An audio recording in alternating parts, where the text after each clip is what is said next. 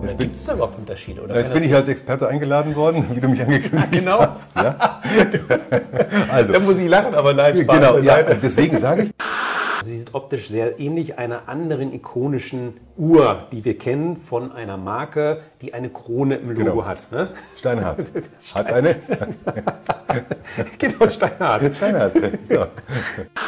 Normalerweise achte ich da sehr, sehr drauf, aber tatsächlich habe ich einen braunen Gürtel zu diesem schwarzen Okay. Leder. Passt überhaupt nicht. Vielen Dank für den Hinweis. Herzlich willkommen, liebe Freunde, zum neuesten Uhrentalk. Heute zu einem sehr spannenden Thema, nämlich die 10 besten Chronographen unter 3000 Euro. Und es ist gar nicht so leicht, Chronographen zu finden innerhalb dieser Preisklasse, wenn wir über mechanische Chronographen sprechen. Und deswegen habe ich mir wieder meinen Freund Thomas eingeladen zum heutigen Talk. Schön, dass du dabei bist, Thomas, dass wir Ja. heute über das Thema reden können. Wie geht's dir? Ja, mir geht es hervorragend, wenn ich bei dir sein darf, Mario. Ganz großartig. Und wir werden was finden. Wir werden was finden, was die Leute begeistert, wo sie vielleicht sagen, da ziehe ich demnächst los und schaue mir diese Uhr in meinem Original an. Wir haben zehn Uhren mitgebracht. Du hast fünf Uhren mitgebracht und ich habe fünf Uhren mitgebracht. Und äh, wir haben uns nicht abgesprochen. Das heißt, es wird auch eine gewisse Überraschung werden, welche Uhren jeder von uns selektiert hat. Ich bin äh, so vorgegangen, dass ich gesagt habe, ich möchte eigentlich in jeder Preisklasse etwas dabei haben. Also wirklich für jemand, der neu frisch anfängt mit dem Sammeln von Uhren und sagt, ich habe mein erstes gespartes Geld, bis zum Modell, wo wir dann die Ren Grenze von 3000 Euro auch wirklich vollkommen ausschöpfen. Was war so dein Ansatz? Was hast du heute mitgebracht? Ich bin ganz anders äh, da, dran gegangen. Ich habe einfach gesagt, es geht mir nicht nach der Preislage. Wir haben gesagt, unter 3000 Euro, das war die Vorgabe. Und ich habe einfach gesagt, lass uns das äh, kategorisieren. Diver, Flieger, klassische Uhren, Racing, das wirst du sehen. Auch ein Einsteigermodell habe ich mit dabei, wenn man das als Einsteigermodell bezeichnen kann. Die Preise sind ja doch bei Kronos etwas höher, aber ich habe eine andere Hervorgehensweise, wie du siehst. Da bin ich mal gespannt, was du dabei hast. Und bevor wir über die erste Uhr reden, müssen wir vielleicht nochmal über das Thema Chronographen grundsätzlich reden. Weil es gibt ja oft eine Sache, die manchmal verwechselt wird, nicht von den Uhrenexperten, also von denjenigen, die sich mit Uhren auskennen. Du weißt, glaube ich, auf was ich äh, anspiele. Du wirst wahrscheinlich meinen Chronometer, Chronograph, genau, das sollten wir unbedingt erwähnen am Anfang. Was ist der Unterschied?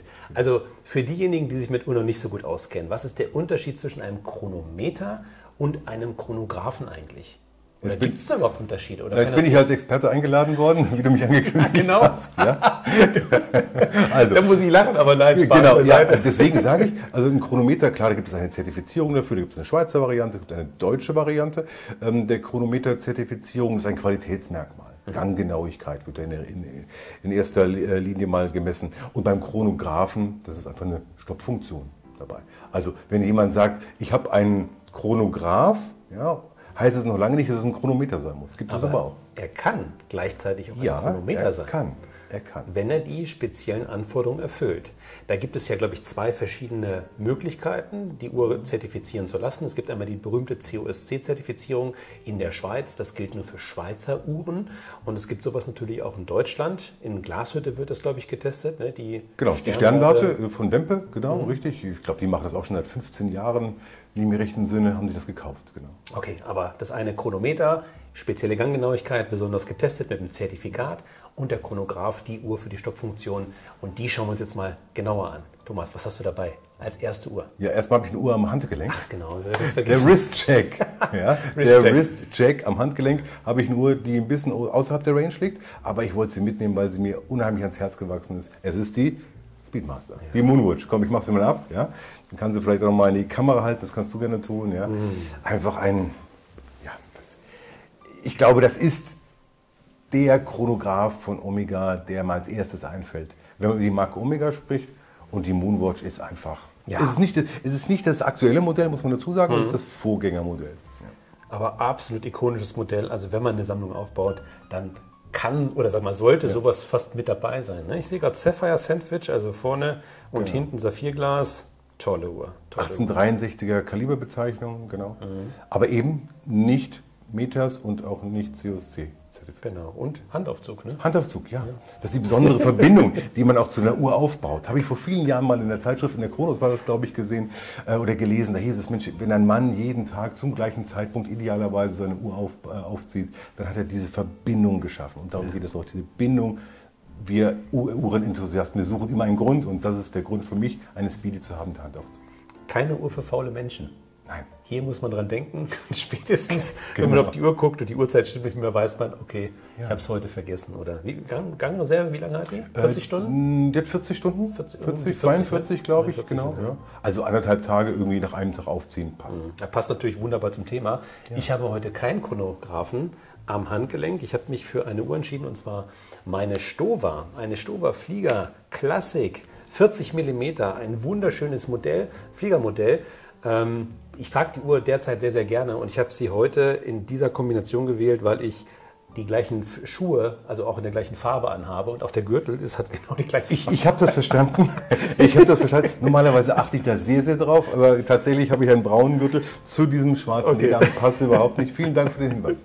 Also eine wunder wunderschöne Fliegeruhr aus Deutschland klassischer Flieger Baumuster A, wenn ihr diese Uhr genauer kennenlernen wollt. Auf meinem Kanal gibt es dazu ein Review. Das müsste gerade letzte oder vorletzte Woche erschienen sein. Also da könnt ihr gerne mal schauen. Du kennst die Uhr, glaube ich. Nicht. Ich kenne die Uhr, aber leider Themaverfehlung für den heutigen Tag hätte ich jetzt einen Chronographen. Ja, erwartet. aber warte mal ab. Ich habe ein paar Uhren noch mit dabei. Deswegen kann ich es mir erlauben, heute auch keinen Chronographen im Handgelenk zu tragen. Und deswegen, ich lege die Uhr jetzt einfach mal beiseite, weil wir werden uns gleich ein paar Uhren anschauen. Wer fängt an? Du, bitte. Ah, Was hast du dabei? Fang ich, ich fange jetzt mal mit... Ähm, mit dem günstigsten, ich habe es mal Einsteiger genannt, mhm. fange ich an. Eine Marke, die du noch nicht im Review hattest, Zeppelin. Gehört zu Points-Tech aus dem Ort Ruhler. Ruhler ist in Thüringen, das werden viele von euch wissen, mhm. bei in dem Dreieck Eisenach, Waltershausen, äh, Gotha in diesem Bereich, war mal eine richtig bedeutende Uhrenstadt in der, in der DDR. Da haben äh, 7000 Menschen leben dort, 8000 Menschen haben dort gearbeitet, haben Ruhler-Uhren hergestellt. Gibt es eine schöne Verbindung auch in den, in den Weltallen, in den Weltall und auch zur Partei, also Parteitagsuhren haben die auch hergestellt. Ist egal. Inzwischen ist es, hat es damit nichts mehr zu tun. Ruler gibt es so nicht mehr. Den Ort gibt es aber nicht mehr die, äh, den Hersteller. Und jetzt gibt es eben einen, einen Hersteller Pointtech, der Zeppelin, der Iron Annie und der Bauhaus-Uhren herstellt. Und, und ich glaube Junkers, wenn mich nicht alles täuscht, es gehört auch zur gleichen es Gruppe. Es könnte dazu. sein, dass Junkers mit ich dabei meine, ist, ich weiß es nicht mehr ganz genau. Das ist, glaube ich, eine relativ junge Marke. Die gibt genau. es noch gar nicht so lange. Ich glaube, 80er Jahre oder so, ne? Mitte 80er. Nee, das ist dann schon 90er, nach der Wende gewesen. Aber äh, es gibt es tatsächlich noch nicht so lange. Da würde ich eine Wette für eingehen. Da ja? würde ich mir fast sicher sein, dass es die Marke Pointec mit den verschiedenen Marken schon in den 80er Jahren gab. Aber ihr wisst es vielleicht besser. Schreibt uns mal in die Kommentare, wer jetzt recht hat, Thomas oder ich. Ich sage jetzt einfach mal Mitte der 90er Jahre. kleine Wette. Um, genau, okay. kleine Wette. Okay, Nächstes Bier. Ja, es geht ums Bier. Ja? Sehr, sehr gerne. Okay. okay. Und welche hast du dir ausgesucht? Also ich habe den Zeppelin mitgenommen, einen Chronographen mhm. logischerweise. Und das ist das Modell Atlantik. Mhm. Dieses Modell Atlantik gefällt mir deswegen so gut. Es ist ein Bicompax, muss man nachher mal unterscheiden, was das Ganze ist. Hat auch ein Datum drauf. Es hat, eine, ähm, hat einen Durchmesser von, ich muss nachgucken, 41 oder 42 Millimeter. Also mhm. das ist noch im, im Rahmen dessen, was viele, viele da draußen auch tragen können. Und das Besondere ist der Preis. Der Preis liegt, da muss ich kurz schauen, 1200 und 40 Euro, das ist äh, 249 Euro, das ist mhm. wirklich im, im, Rahmen, muss man ganz klar sagen, für diese Marke. Das Zeppelin-Logo, ganz ikonisch natürlich, das mit drauf ist. Ähm, Mineralglas ist äh, Saphir beschichtet, das habe ich so auch noch nicht gesehen, also schon mal eine spezielle Härtung mhm. des, des Mineralglases und ein japanisches Werk drin, ein Seiko-Werk. Ja. ja. du bist ja der Seiko-Experte hier im Hause. Also sind solide Werke, kann man nichts sagen. Schöne Uhr, äh, die gut passt und auch so dieses Luftfahrtsthema ja. natürlich aufgreift, wer sich ein bisschen mit dem Zeppelin-Thema beschäftigt. Finde ich super. Also auch diese Optik finde ich traumhaft schön. Die Farbe des Zifferblattes, dieses, dieses beige, dieses cremefarbene, harmoniert hervorragend. Interessant. Ja, und bei Nacht, bei Nacht, musst du mal gucken, bei Nacht leuchtet das gesamte Zifferblatt. Auch klasse. Ja, stimmt, genau. Oh, Wahnsinn. Also ich blende euch die Bilder ein, werdet dann gleich sehen. Also wirklich absolut optisch ein schönes, schönes Modell und auch wirklich für den, für den Preis sind wir ja wirklich im Einsteigersegment genau. unterwegs, weil ihr wisst bestimmt, dass es sehr, sehr schwierig ist, Chronographen zu finden, die nicht im vierstelligen Bereich sind, wenn wir über mechanische Chronographen reden. Ganz genau. Ja? Deswegen ist das ein schönes Einsteigermodell für jemanden, der erstmalig einen mechanischen Chronograph Ganz solide 5 Bar Wasserdichtigkeit auch dabei. Also äh, 15 mm Bauhöhe, das trägt schon etwas stärker auf. Aber wie gesagt, das Modell gefällt mir sehr gut und das wäre tatsächlich mein erster, meine erste Empfehlung. Aber 15 mm Bauhöhe ist eigentlich relativ normal bei Chronographen. Genau. Ne? Äh, wenn das klassische Valjoux 7750 ETA-Laufwerk ist ja eines der weit verbreitetsten Chronographenlaufwerke, die man so eigentlich am Markt kennt. Mhm die haben eigentlich fast alle 15 mm ja. Bauhöhe. Unten drunter wird schon eher schwierig. Und wir wissen beide, das kommt immer darauf an, wie das Ganze dann am Handgelenk ja, wirkt. Ja. Genau, genau. das kann man, da kann eine 13 mm Uhr höher wirken als eine 15 mm. Das wäre für mich kein Ausschlusskriterium, aber in dem Fall, wir hatten ja gerade besprochen, dass es sehr schwierig ist, Uhren unter 1000 Euro zu ja. finden, mechanisch, Chronograph. Und du hast eine gefunden? Und ich habe was dabei. Ja, dann zeig doch mal her. ich habe dabei, und zwar ah, ja, okay. Einen chinesischen Hersteller. Mhm. Und zwar die Seagull 1963. Ich habe hier mal zwei Varianten mit dabei. Einmal die 38 mm Variante und du hast die 40 mm 40, Variante. Ja. Es gibt noch mal eine Variante in 42 mm und das Faszinierende daran ist, dass es ein Schaltradchronograph ist mit einer Schwanenhals-Feinregulierung.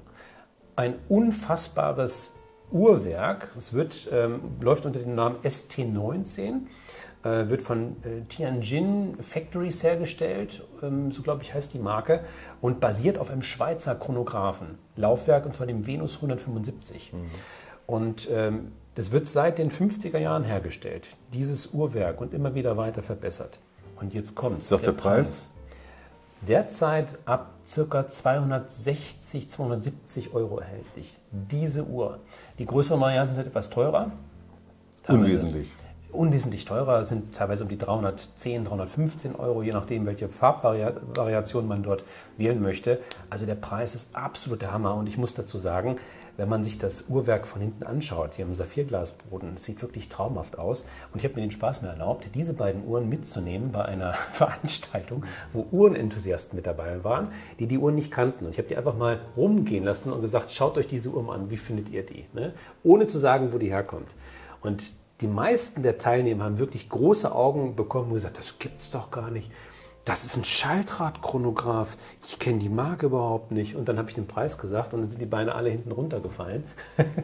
waren ziemlich begeistert. Und das waren wirklich Uhrenenthusiasten. Und deswegen schaut euch diese Uhr mal an. Für mich als Einsteigeruhr in dem Preissegment werdet ihr nichts Vergleichbares finden. Man kann kritisch hinterfragen und sagen, möchte man chinesische Handwerkskunst am Arm ja. tragen. Da gibt es ein paar, für die ist das nichts. Ne? Die sagen, nein, ich möchte das halt nicht unterstützen.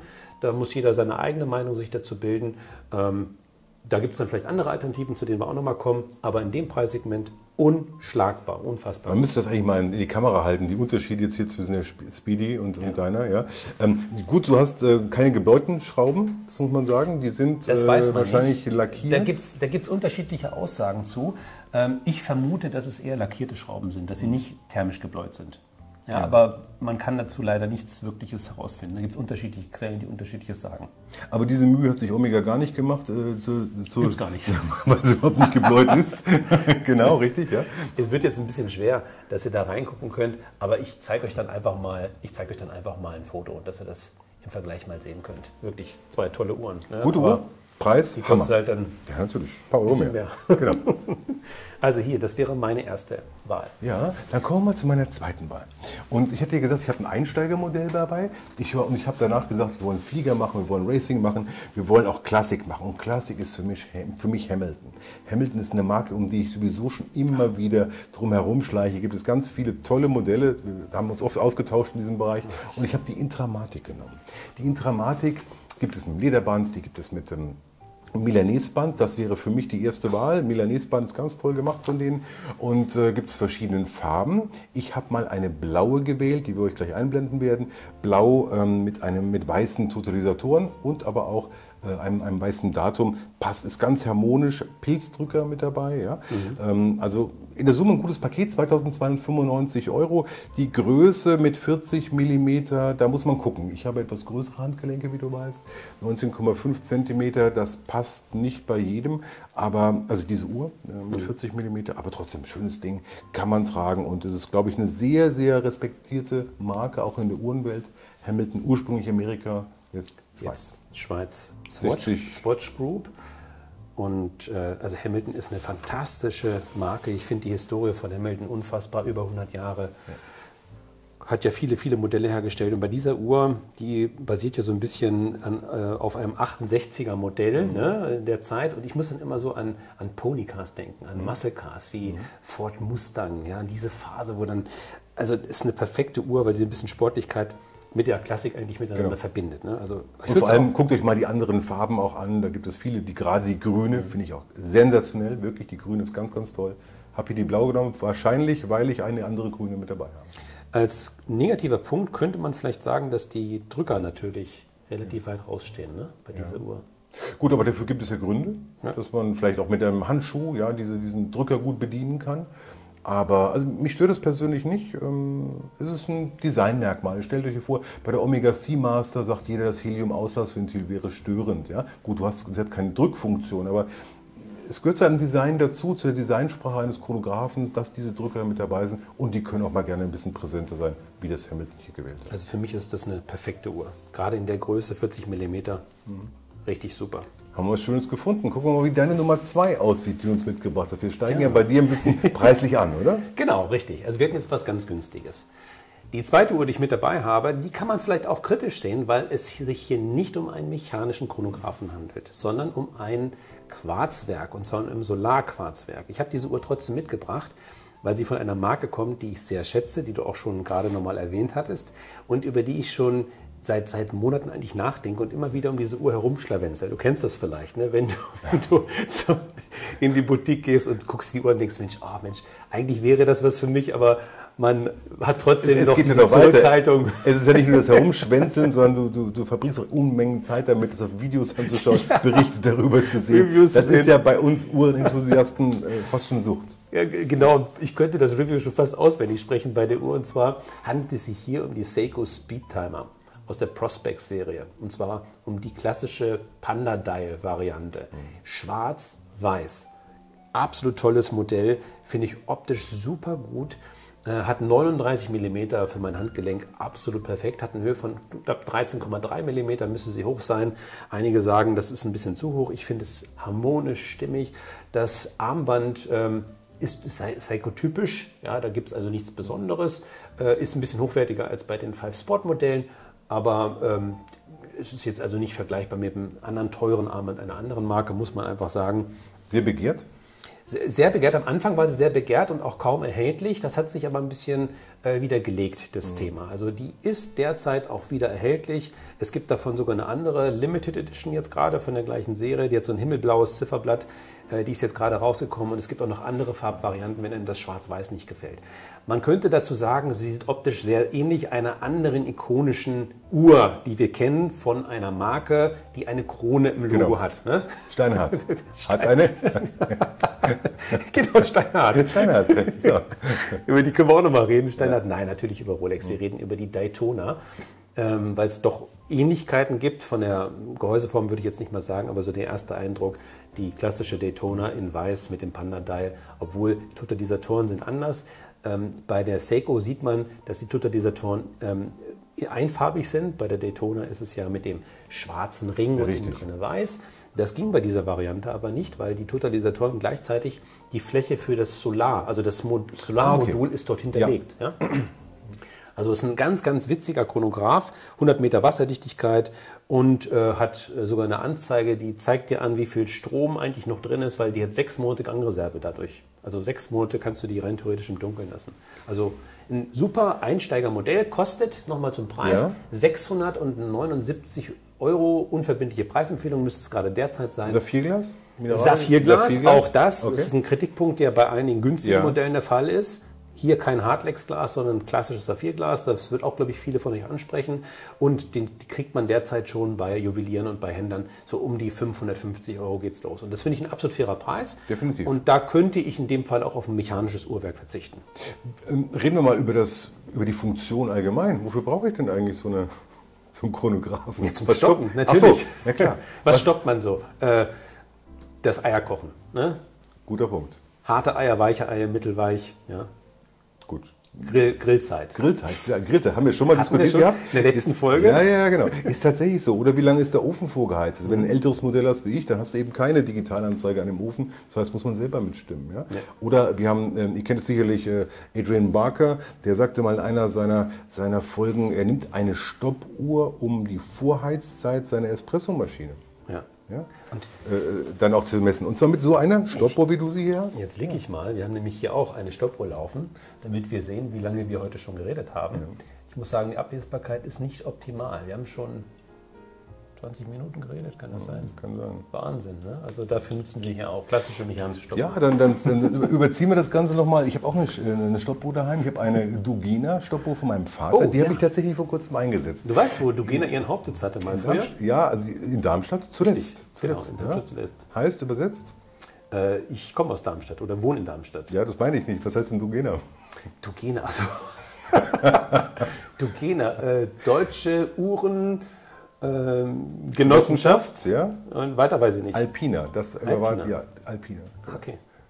Das ist äh, gut, dass wir das auch geklärt haben für alle, ja. Und tatsächlich ist es so, dass diese Dugena Stoppuhr schon immer bei uns in der Familie war. Mein Vater hat früher damit immer äh, sein Sportabzeichen, seine Übungen auch mitgemacht. Und ich habe diese Uhr tatsächlich dieses Jahr erstmals eingesetzt, weil meine Tochter äh, zu den Bundesjugendspielen das erste Mal angetreten ist. Wir haben einen, einen Tag vorher mal ein bisschen geübt. Training. Einmal ein kleines Training gemacht, ja. Ich stand da wie Turnvater Jan mit dieser Uhr in der Hand und habe da die Zeit gemessen auf 50 Meter, ja. Okay. Aber jetzt zu deiner. Welche Uhr müssen wir jetzt machen? Die Ja, dritte? wir müssen als nächstes, bei mir ist es die dritte Uhr und ich habe einen. Diver. Einen Diver mitgenommen. Und ich habe äh, eine andere Farbe gewählt. Mhm. Nein, habe ich nicht. Ich habe äh, wieder blau gewählt. Du nimmst ganz oft blau. ne? Ja, irgendwie mag ich das. Schwarz mag ich, Mhm. weiß mag ich, blau mag ich. Grün habe ich ja schon. Äh, werden wir noch sehen. Grün wird auch auftauchen. Aber wir bleiben bei blau. Und wir, bleiben, ja, und wir gehen zu Hannard in den Schwarzwald. Und äh, es gibt hier bei Hannard eine, eine Serie, die heißt Primus. Das ist nicht zwangsläufig eine Diver-Serie, aber sie haben mit dem Zusatz Diver tatsächlich ein solches Modell rausgebracht. 100 Meter Wasserdichtigkeit, also 10, äh, 10 Bar Druckfestigkeit. 2540 Euro um den Preis mal am Anfang zu nennen. Ein großes Modell. Wir reden über, äh, wir reden über 44 Millimeter im Durchmesser. Das ist schon eine, eine große Uhr. Nur, wenn man sich, und das müsst ihr mal unbedingt machen, ihr müsst euch mal die Hörner anschauen.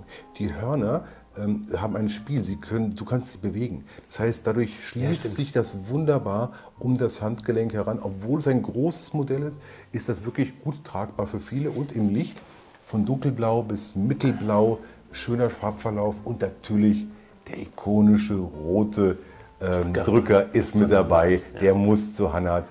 Das wissen, wisst ihr, die, die uns gerade auch zuschaut. Also gutes Modell, kann ich empfehlen. Ähm, wäre mein Pick bei den Divern.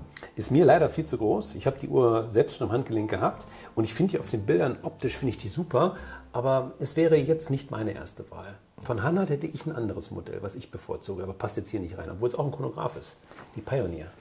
Oh ja. Ne? Das wäre Oh ja. nochmal die, die das Mark wäre in, 1 und die im Mark 2. Fliegerbereich unbedingt. Gut, aber wir wollen das jetzt nicht ausführen, Ja. sonst kommt man, glaube ich, heute nicht. Aber lass mich bitte eins noch sagen, dass auch hier das, das Zifferblatt die Totalisatoren nachleuchten. Auch das ist für die ganzen Totalisatoren, ähnlich wie wir es vorhin bei der Zeppelin gesehen haben, ist da also ein bisschen mehr was los in der Dunkelheit. Okay. Oder unter Wasser, je nachdem. komme ich zu meiner Nummer 3. Ich habe heute eine Uhr mitgebracht äh, und zwar eine Marke, die ich gar nicht so auf dem Schirm hatte und zwar die Marke Guinot aus Frankfurt am Main. Guinot, vielleicht schon mal gehört. Äh, die Experten von euch wissen, wer diese Uhrenmarke zuletzt besessen hat. Äh, Und zwar der legendäre Helmut Sinn. Sinn ist ein Begriff, eine der Uhrenmarken, die sich in den letzten Jahrzehnten eigentlich extrem positiv entwickelt haben. Äh, Und Guinot wurde, war früher eigentlich Lieferant für Sinnuhren. Die haben Uhrengehäuse und Uhren, ähm, also die haben Uhren produziert für andere Uhrenmarken. Und Sinn war dort Kunde. Und Helmut Sinn hat äh, Sinn verkauft, da war er schon über 80 Jahre alt und hat, nachdem er äh, die Uhrenmarke Sinn verkauft hatte, Kino gekauft, also den ursprünglichen Lieferanten von Sinn. Und man sieht das bei den Uhren und ähm, er hat, glaube ich, auch ein bisschen was dazu beigetragen, dass die Philosophie von Guinot heute so ist, wie Sinn sie auch geprägt hat. Nämlich die Aussage ist, er möchte, er wollte damals Uhren herstellen mit einem perfekten Preis-Leistungs-Verhältnis. Die sollte erschwinglich sein für jedermann von uns, aber gleichzeitig mit einer mit dem höchstmöglichen äh, Technik und mit der höchstmöglichen Qualität, die machbar ist. Und ich habe hier eine mit dabei, das ist die Guinot. Äh, guck sie dir mal an. Das ist die Monte Carlo Aero. Sie ist wasserdicht, 200 Meter. Und das ist für einen Chronographen außergewöhnlich. Normalerweise sind Chronographen ja. nur wasserdicht bis 50 Meter, einige bis 100 Meter, aber 200 Meter finde ich absolut äh, fantastisch. Diese Uhr äh, kann man heute immer noch erwerben, hat eine äh, beidseitig drehbare Lünette, In dieser Variante sieht man aber eine spezielle Lünette, die eigentlich zu der normalen Monte Carlo gehört, nämlich das ist ein Timer, die rückwärts zählt. Ja. Ja? Äh, ist ein galvanisch versilbertes Ziffernblatt mit Sonnenschliff. Die Indizes sind per Hand appliziert. Eine 12-Stunden-Lünette mit Countdown-Funktion. Äh, innenliegende Tachymeterskala zum Bestimmen der Geschwindigkeiten. Innen drin ist ein Selita SW500, also auch ein Nachbau des äh, Valjoux 7750. Äh, hat 40,6 mm Durchmesser und hat eine Höhe von 15,6 mm. Und einen Sichtboden, wie ich gerade sehe. Und einen Sichtboden. Äh, Man muss dazu sagen, dass äh, die Uhrenmarke, das ist eine alte Schweizer Uhrenmarke. Und sie wurde dann später aber nach Deutschland verlagert. Also die Produktionsstätte ist alles in Deutschland, auch made in Germany. Und diese Uhren werden ausschließlich im Direktvertrieb angeboten. Das heißt, es gibt keinen Zwischenhändler. Und deswegen können auch diese guten Preise angeboten werden. Wie gut ist der Preis? Der Preis dieser Uhr ist bei ab 1739 Euro.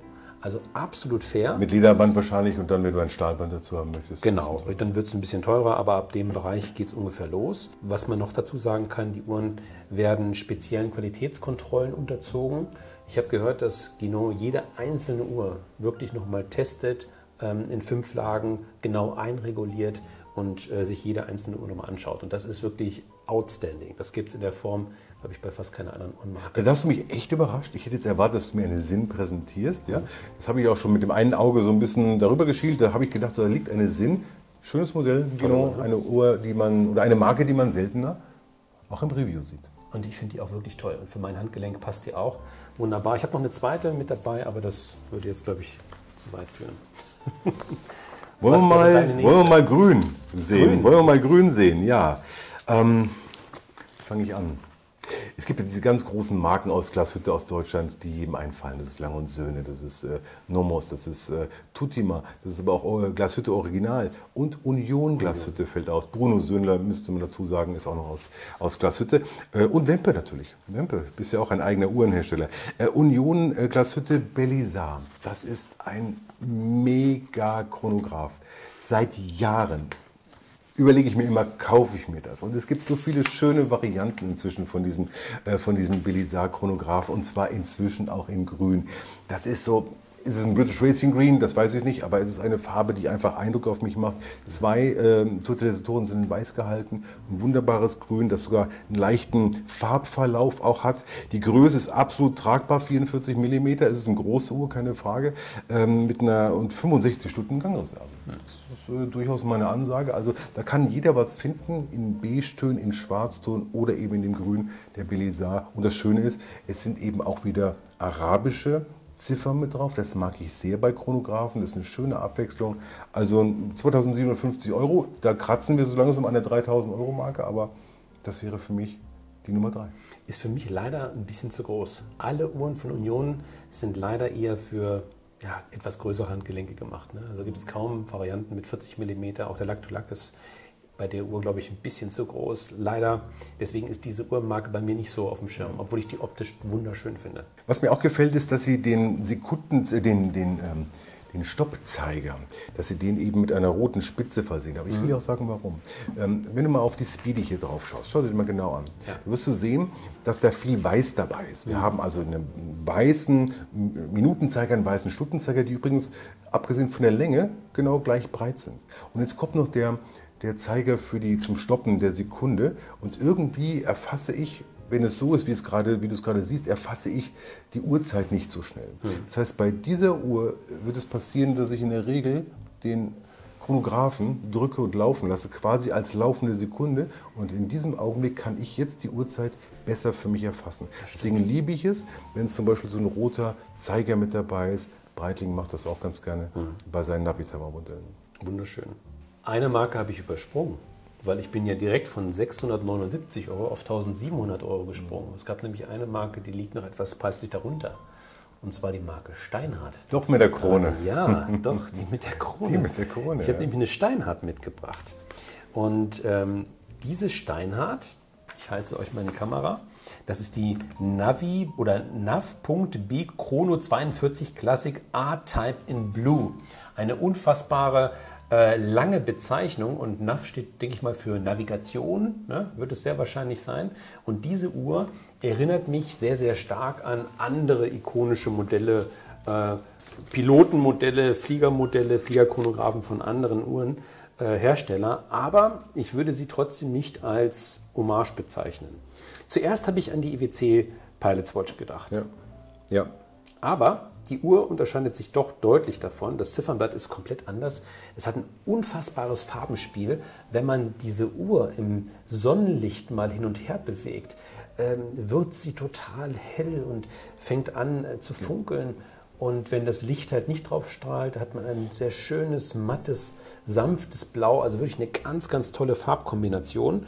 Die Uhr gibt es in 41 mm und in 43 mm. Das ist die meines Erachtens nach die 41 mm Variante. Goldener Rotor sagt meistens, das ist die Premium-Variante. Von Steinhardt, müsste mich täuschen, könnte man nochmal recherchieren. Ist tatsächlich, die Bauhöhe ist natürlich immens. Ne? Da liegen wir bestimmt bei 16, 17 mm. Ja, ich habe gemessen, über das 16 mm ist ja. eine Höhe, aber ein wunderbares Modell, keine Frage. Verschraubte Krone, 50 Meter wasserdicht, obwohl die äh, Krone verschraubt ist, was ich nicht so ganz verstehe. Armbandglieder sind verschraubt, was ich immer ganz nett finde. Auch die Schließe, ja, die ist, ist eine normale, relativ günstige Standardschließe von, von Steinhardt, kann man nichts sagen. Auch die Verarbeitung ist ganz gut und das ist ein schöner Chronograph, weil der Preis passt auch, liegt bei 1050 Euro.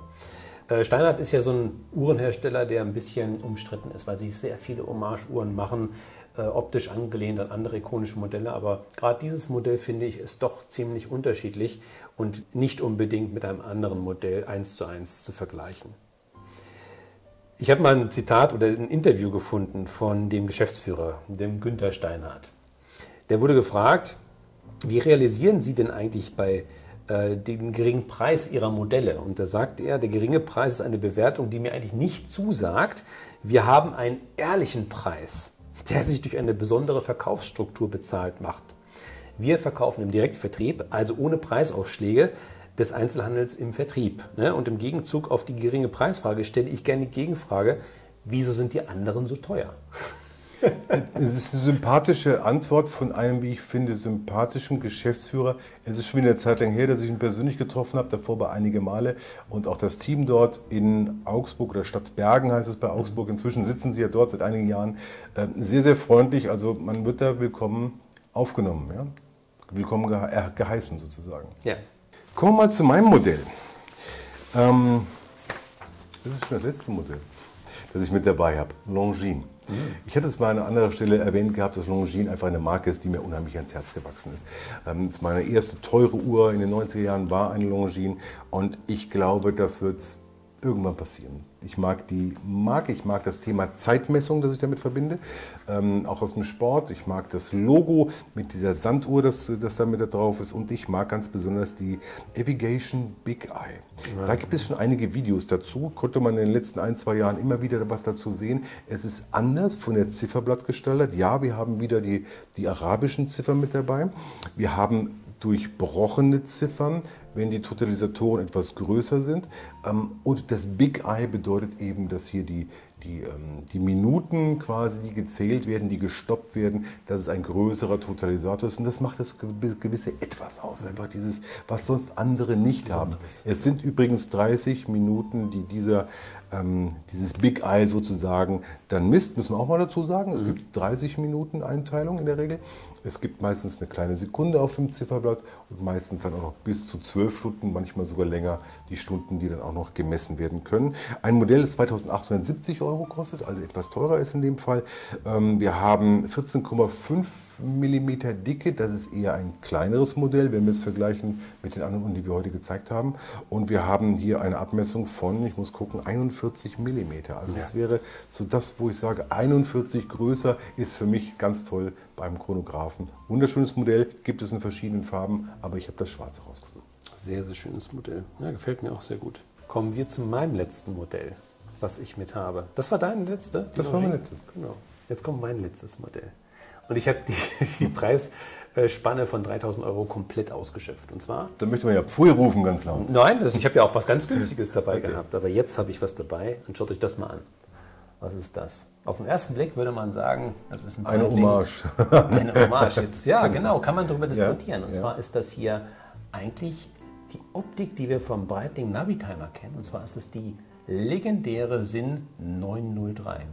Das ist ein älteres Modell, ist schon 20 Jahre alt. Und da kann man sich die Frage stellen, warum sind diese Uhren eigentlich optisch dem Navitimer so ähnlich? Und warum darf Sinn diese Uhr so produzieren? Die Geschichte kennst du? Die Geschichte ne? kenne ich natürlich, ja. Weil- sie, sie ging unter, unter dem Helmut Sinnlos und wurde mit äh, Lothar Schmidt, dem jetzigen Geschäftsführer, weitergeführt und sehr erfolgreich. Aber erklärst du sie deiner Community?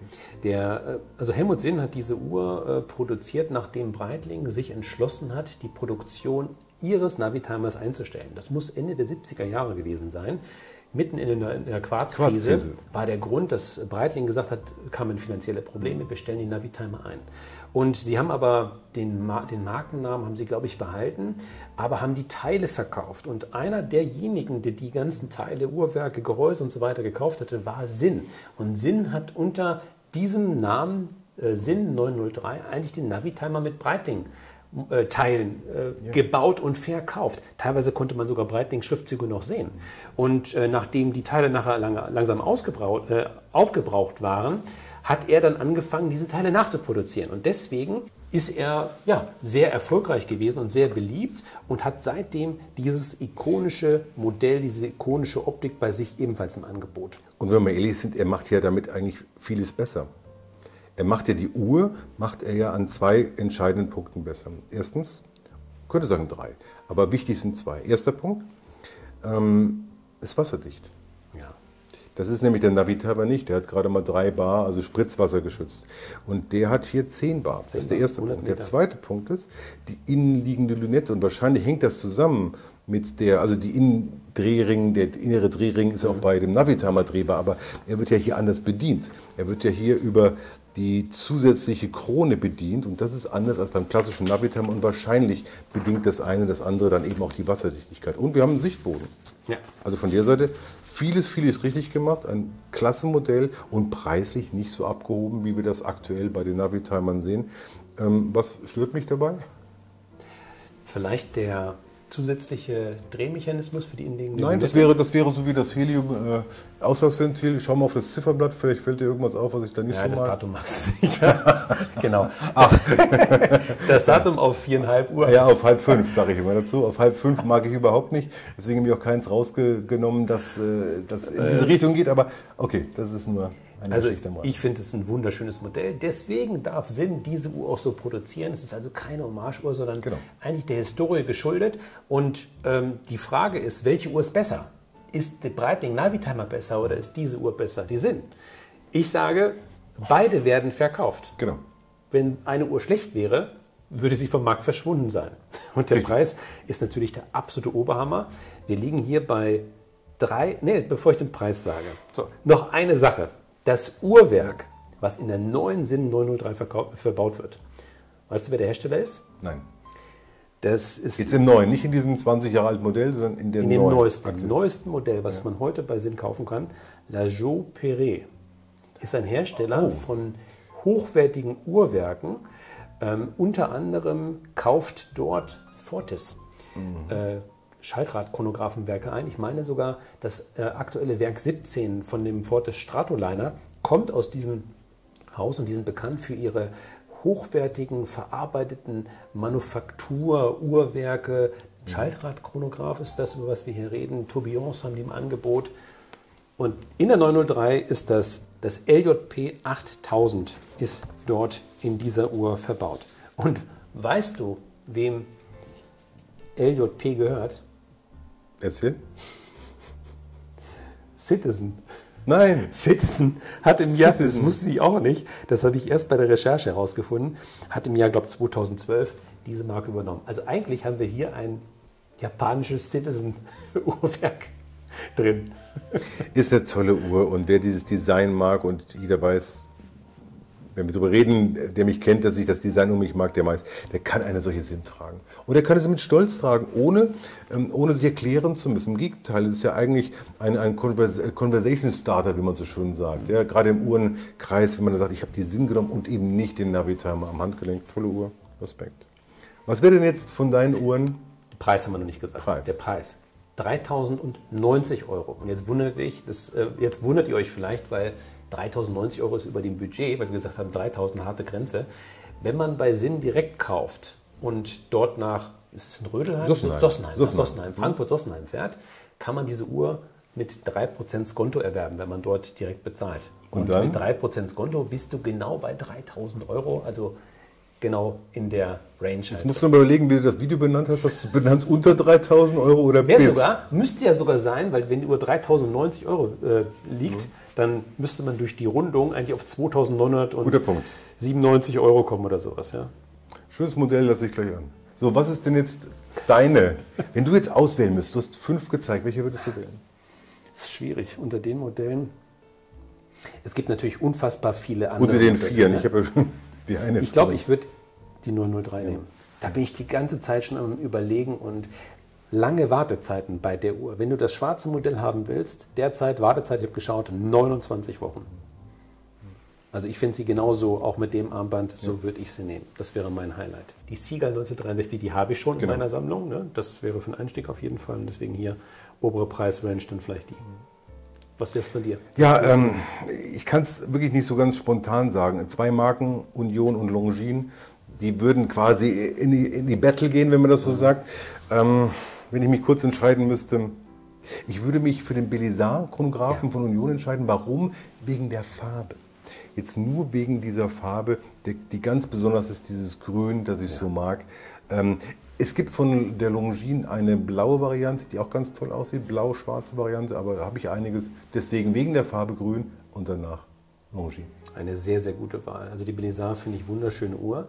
Wir haben natürlich heute nur ein paar Uhren angesprochen. Es gibt noch ganz viele unfassbare Uhren. Schreibt mir doch mal bitte in die Kommentare, welche Uhren ihr vermisst habt. Welche Uhren in dem Preissegment bis 3000 Euro hier gefehlt haben, die ihr unbedingt in dieser Liste aufgenommen haben würdet wollen. Schreibt es unten in die Kommentare. Und äh, ich hoffe, es hat euch gefallen. Es hat euch Spaß gemacht, heute mit dabei zu sein. Thomas, vielen Dank, dass du uns wieder beehrt hast. Danke In für die nächsten- Einladung. In vier Wochen machen wir wieder ein neues Thema. Unbedingt. Falls euch was einfällt, schreibt es auch gerne in die Kommentare. Ich sage vielen, vielen Dank. Und wenn euch jetzt noch der letzte Uhrentalk interessiert über das Thema Sommeruhren, dann kann ich euch das folgende Video empfehlen. In diesem Sinne, macht's gut. Ciao.